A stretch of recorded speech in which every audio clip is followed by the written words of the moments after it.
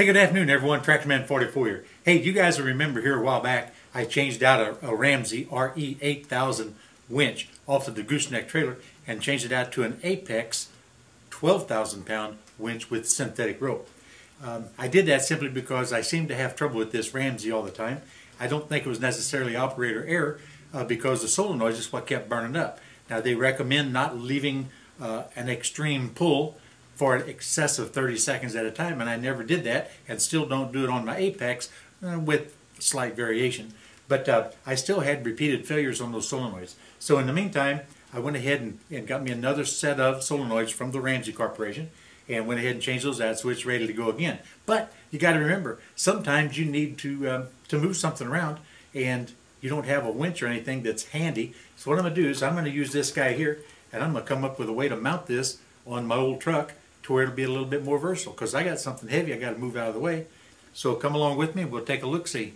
So what I've done, I've actually already started on this before I thought about making a video. So what I've got is this heavy, and I love this old structural steel. This is a 7 inch by 4 inch 3 8 structural steel. Actually, it's thicker than 3 8 It's like a 7 16 And what I've done, I went ahead and drilled holes that match up to the mounting holes on this guy right here. So that's going to mount on here. And I got the rudimentary shape that I need to have open for the cable. But I'm going to use the old fair lead. I'm going to mount that fair lead in here. And I'm going to have to adjust this opening to where the cable will pass right through this fair lead. Then we got to go back to business of making a way to mount it to the truck. So that's where I'm at right now. Like I said, already got started and haven't filmed anything yet. So this is the first, the first take, so to speak.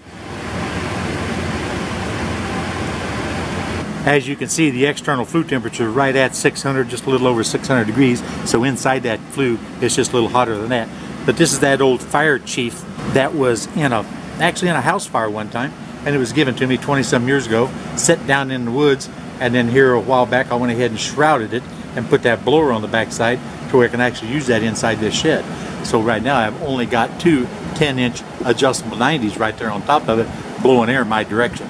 As you can take a look right here, I'm pushing out right now 175, 180 degree air out of the uh, out of the pipes.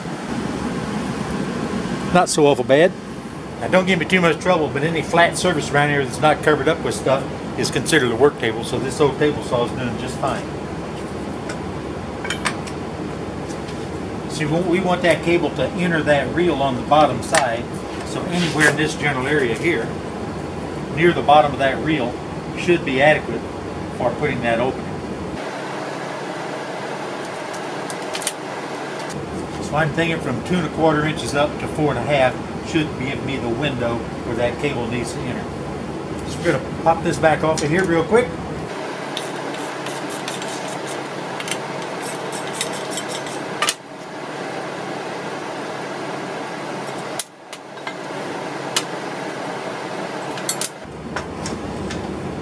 And we're going to cut that out of here. Now, if you're wondering why the camera's so far away from the torch, last time I used the torch, I got some speckles on my camera. I don't like I don't like tearing up my camera.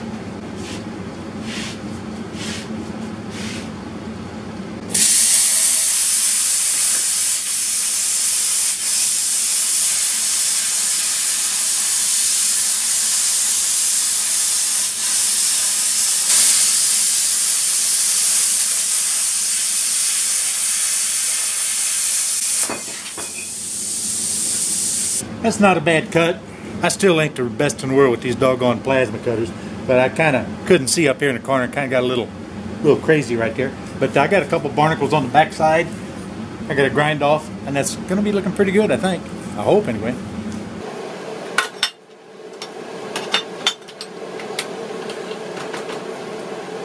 Again, camera lenses and sparks don't go good. I'm going to back you guys up.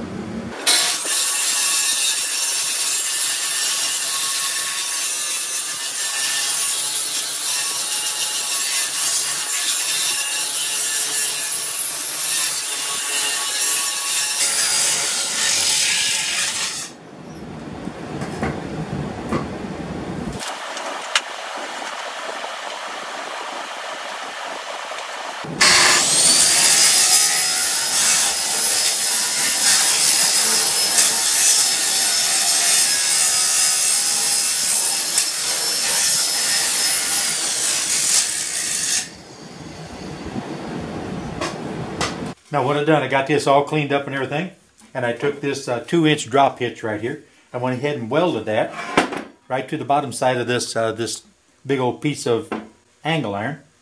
Bear in mind, I'm not into retrieval. I don't do this professional or anything. This is just for me and my junk around here, moving some dead tractors, or maybe out in the woods, you know, rolling a log or something. This is not for commercial use, so I would not recommend you guys doing this for yourself. But at any rate, you can see I got a pretty good, pretty good stick job on this guy here. That's a 7018, run up pretty high, about 130 amp. I got some good penetration and not a lot of undercut, so it's it's going to be okay. I've got that welded uh, on this side, this side, and just a spot in the middle. But I've got provisions for beefing it up if it does act like it's going to want to give some under a heavy load. But I'm not anticipating uh, massive heavy loads. The very one I'm building this for is actually probably the heaviest thing this thing's ever going to be pulling.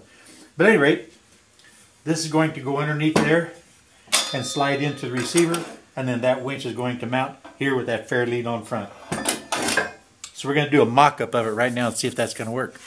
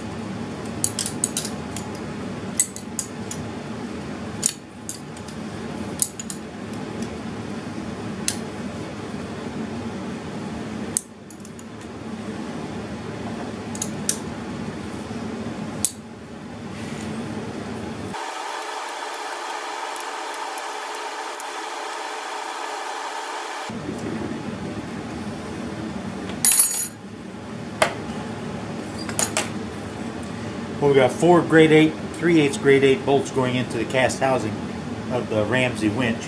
Got the fair lead just about adjusted where it needs to be. So I'm just going to torque these bolts down just a little bit. And we're going to go and see uh, how it's going to fit into that receiver. I know it's going to fit into the receiver, but I just have to make sure there's enough clearance between the back of the, the gearbox and the, the front of the gearbox and the back of the truck. Well guys, by all indications it's going to work out just the way we want it. I've got to get some uh, old welder leads and run me some wires all the way from the battery back here. You know, make these uh, connections here for the for the winch. But other than that, everything should be just what we need. Now I'm going to go ahead and cut these corners off down here. We got these sharp corners that'll catch you by the knee or whatever. So I'm going to cut those off, round those off, you know, and uh, put a little grease on these fittings and go ahead and get this thing ready to, to do a little bit of work.